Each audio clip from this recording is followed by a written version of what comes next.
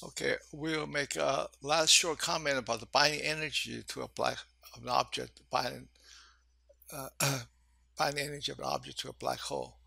Uh, a black hole is massive and is compact, so therefore you will have a part, object will have a large binding energy. The question is how how large the binding energy will be. Uh, record the orbit equation uh, when we talk about Mercury precessions for object with mass is the uh, uh, radial rotational kinetic energy and, uh, and, and, effective potential, which involves gravitational potential and the orbital uh, uh, rotational kinetic energy and the GR correction term. now, uh, so so Newtonian is just without this term. So the effective potential for Newtonian potential would be just like this. Okay, so you have a an orbit can be in a stable orbit in a minimal. And uh, in the GR case, because this term dominates at this small r, uh, you have this term and then. So if any uh, can overcome the barrier, it can plunge right into the black hole. Okay. Uh, so anyway, we can have a stable circular orbit around uh, this point here, r minus. Uh, this circular radius cannot be arbitrarily small in order to have an uh, orbit any kind, uh, not just plunge directly into the black hole.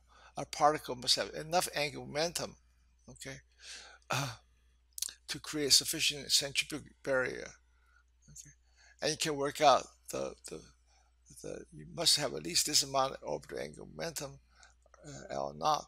And, and also this corresponds to the radius uh, R naught okay? So this uh, the smallest uh, circular orbits for an object P. And of course if it's a circular orbit uh, R dot is equal to zero. So therefore the, the total energy is simply the uh, mass times the uh, effective potential and you plug this L naught and R naught, R naught should be lowercase here. Uh, this factor become minus MC divided by 18. So the solution gives the total energy of a gravitation bound particle. Remember, the gravitation bound gravitational energy of a particle is kappa, okay, which is related to uh, E over mc. So cap over c is E over mc squared. And uh, knowing the uh, the script E is minus mc over 18, you plug in here, this becomes factor minus 1 over 9. And then, so, so inside square root is 8 over 9, take the square root, be 0.94. So in other words, the, here's energy of a particle bound to a, a to a black hole with uh, in this small circular orbit, which which means that uh, see it's less than one, so it's eight percent less. So eight percent is uh, rest energy will, will be released when bonding to a, circular orbit like this. Now you see, oh, eight percent, six percent is not that big. We have to realize, compare the thermonuclear reactions. You know, we should know that's the big, most efficient way of converting uh, rest energy so think about thermonuclear reaction taking place inside the sun. Can be summarized as fusing four protons into a helium nucleus with a rest energy of uh, a release energy of 27 uh, MeV mega electron volt, which means since for each each proton has a rest energy uh, 938 MeV, so four of them, so that's the total input initial energy now you can release 27, so it's down to less than 1%, 0.7. So therefore, uh, the black hole binding energy is almost 10 times bigger than this. So 10 times more efficient than thermonuclear reaction. Now, we're talking about uh, Schwarzschild, which is a static, non-rotating black hole. You can work out for black hole rotation, it's even more, sometimes as, as much as 42% uh, can be released. So huge amount of energy can be uh, extremely efficient way of releasing the rest energy of, an object. So here's the takeaway from this lecture number 18. Uh, we first said the Schwarzschild surface is a coordinate singularity.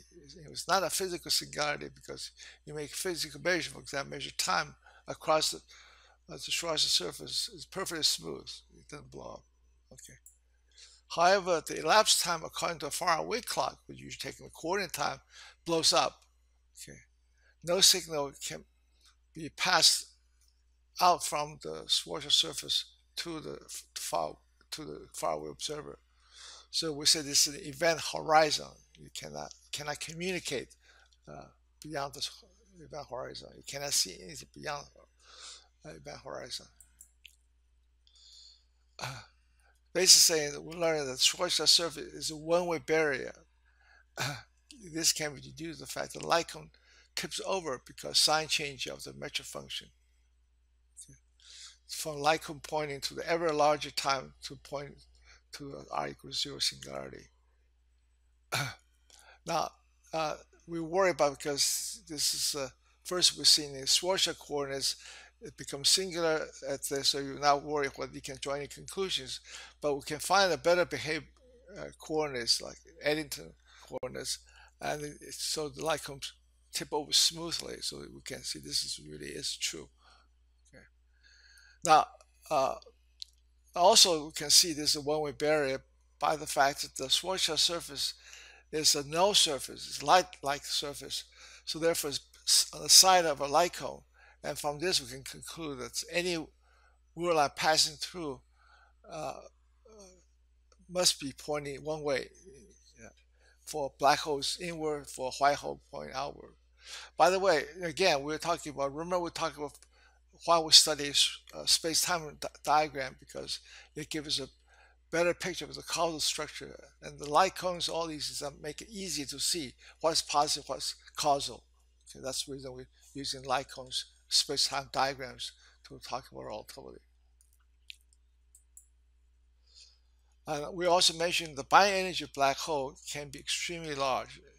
It was energy, any object bound to a black hole can be as much as 10 times larger than the thermal nuclear energy released from a, uh, but this is for a non-rotating black hole. For rotating black hole, this can be 70, 80 times larger than uh, nuclear fusion energy.